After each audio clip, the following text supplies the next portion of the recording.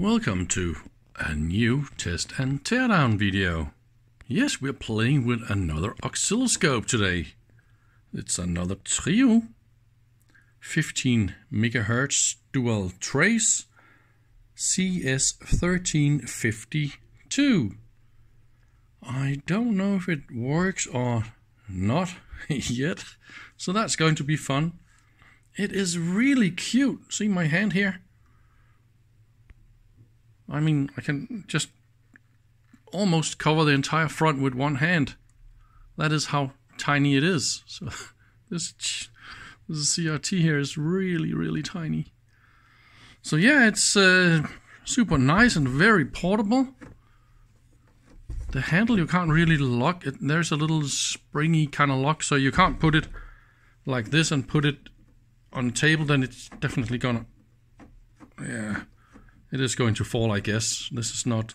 Maybe it's maybe maybe this click lock was more hard when it was new. So got all the basic features of a dual channel oscilloscope. So how is this doing the two channels? Is this alternating or is this chop mode fixed? Because I don't see anything about that and I didn't read the manual. Okay, so this is auto level. What I see here is a little crack, but it looks like there is probably some glass in here behind the plastic. I don't dare to push this even harder because maybe the crack is gonna go even worse. But if I look at a special angle like here, I can't see the crack at all. Maybe I can fix this. I think there's a way to unlock or remove this piece of plastic. Then I can pull this out and then probably clean up everything here. I'll see. Oh, charge. Oh shit, is there a battery in this one? Oh no, stuff with batteries always makes me nervous. Let's look at the back. Hmm, yeah, maybe let's look at the back. I mean, let's look at the side first. So power entry is on the side. And then there's a battery connection here for 12 volts. So there's probably a power supply for 12 volts and then everything runs off 12 volts. Voltage is correct, fuse and external trigger and stuff. So far that is okay. So that means is the battery internal or external? Because there's actually something else that bothers my mind a little bit. Look at that. Two big bad batteries and they can actually be in here in the back and this unit is very very heavy so now I'm nervous let's open this and have a look okay so it's just heavy because it's heavy. so that is where the two 6 volt batteries that could be located. So I think it's really a special kind of battery pack. It says here. What is that? For more information, refer to the instruction manual. Blah blah blah blah blah. Jumper wire and anyway optional battery pack. But I mean, this is really a nice scope with batteries in here. Then you can carry it somewhere and uh, do all sorts of science. So, so this is going to be the first power up. I will now turn on mains. And I think everything here is in more or less correct settings, right? 18 watts, really? That is not, oh yay! It's alive! But only 18, 19 watts, that is really... Focus works perfectly fine. Let's, there's, it's really bright here, so let's, and intensity is really good. A nice, super smooth feeling. I mean, that is great. It is a little bit, isn't it, tilted. So I think that is this one. Where was it? There was a pot here in the back, right? No, that's not it. So let's try it.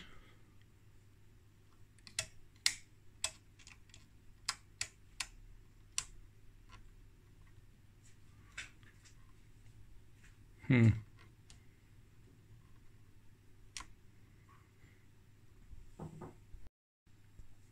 And yes, it really works. And the picture is super, super beautiful. Nice and sharp. Uh, brightness, focus, everything is just really, really good. Look at that. It is razor sharp, this picture.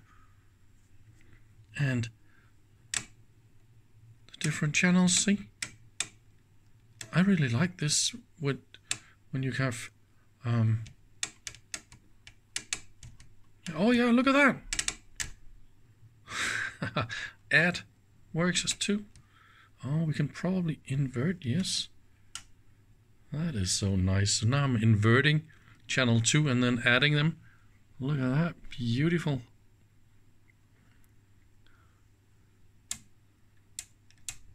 Depending on the level. Oh, of course we need to massage the buttons here a little bit. But you can make all sorts of pretty pictures this way. Oh, here we got no signal. The more we get.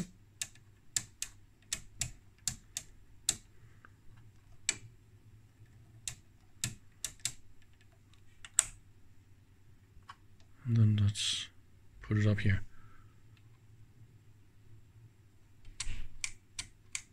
Yeah. That is a nice little scope. So let's try and test the frequency range of this uh, scope. They say 15 megahertz is the specification. So this is 1 kilohertz and I adjusted it for 100% using the variable. So let's crank up the speed. That was 10. So let's go to 100. That was easy. No attenuation, of course. And still a super beautiful picture here at 100 kilohertz. And let's crank up the... That was 1 megahertz. Okay, good. And that is the fastest time base, uh, 500 uh, nanosecond uh, per division. And now we need a little bit more brightness and that also affect focus just barely. All right. Let's, that, that was one megahertz. Let's go. 10 and oops we need to modify the trigger a little bit that is 16 megahertz or let's go for the minus 3 that is here 19 megahertz. But of course you can't see anything like that. Oh yeah, we can do the pull. Oh, look at that. Oh, let's turn off the light here. I don't know if you can see this. But this is a 19 megahertz uh, signal. And we're a little bit below the 3 dB point. A little bit. Let's just go a little bit down I think about here. So 18 megahertz. So yeah, this scope is still doing even better than it's specified.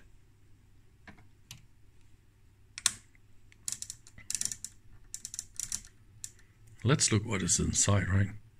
Ooh, yeah, look at that. Of course, the pots, you need to massage those a little bit and then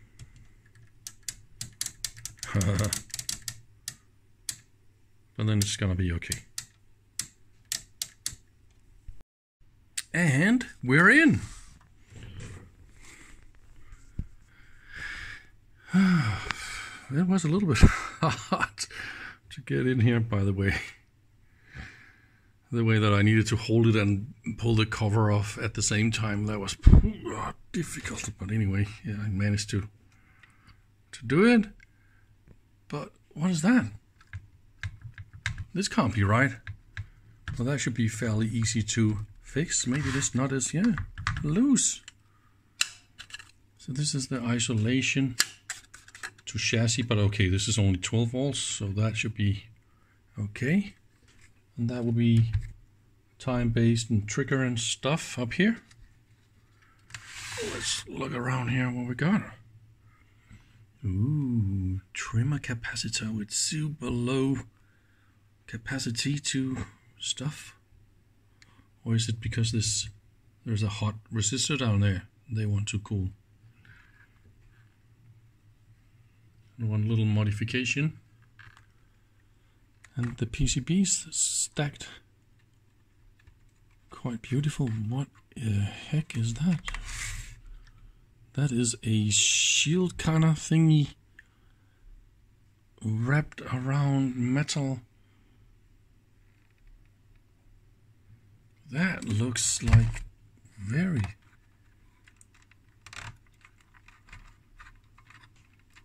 Oh yeah, look at that. What kind of a crazy idea is that?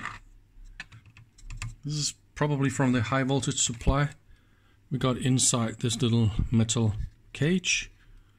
Ooh, we also got a bottom inner chassis plate shielding plate here, but it is also touching some stuff here if I if I do this. So that is probably not the idea.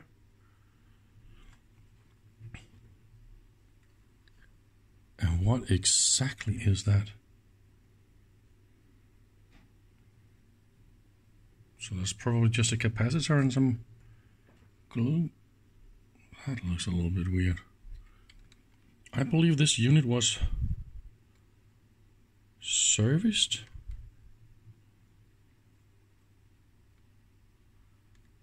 This is not handwriting, no. This is silk screen or some other kind of stamp technique to mark all the connectors. That is nice. that, board is actually a dual layer, yeah. And that will be the input boards. Or maybe, you see, somebody wrote some little notes here about what is what. So that is nice if you want to service. I think I want to remove that plate and have a look.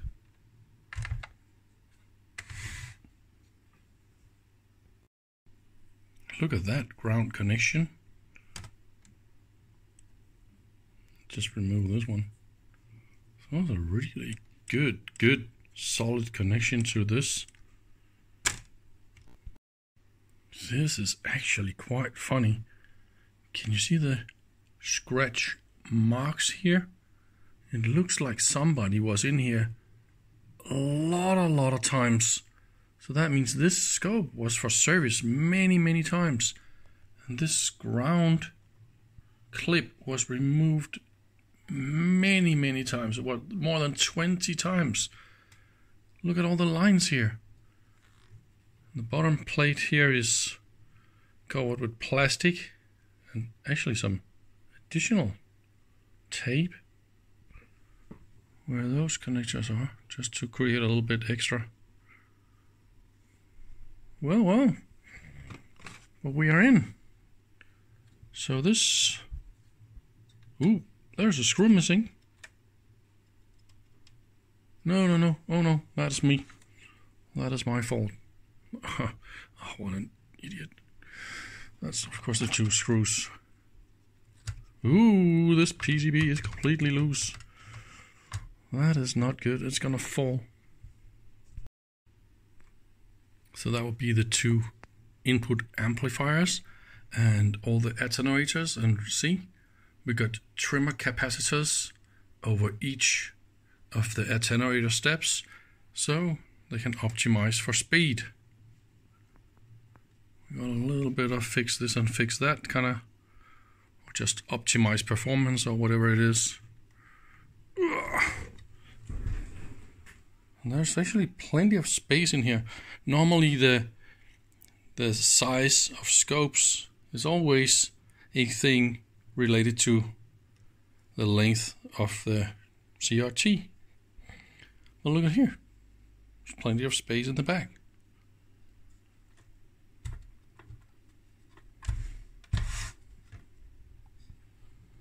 And that's of course the deflection amplifiers.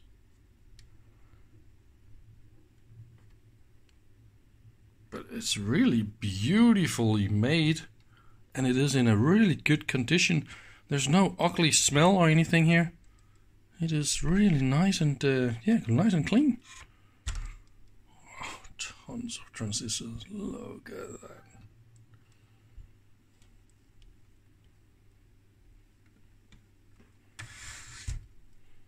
Definitely trying to keep those resistors cool by good thermal design here. Yeah, but I'm going to fix this a little bit and maybe just clean a little bit of dirt here, but that is nothing compared to its age. It's probably from the 1980, around that. No, I like that. Voltages written on the PCB. That is a good design style.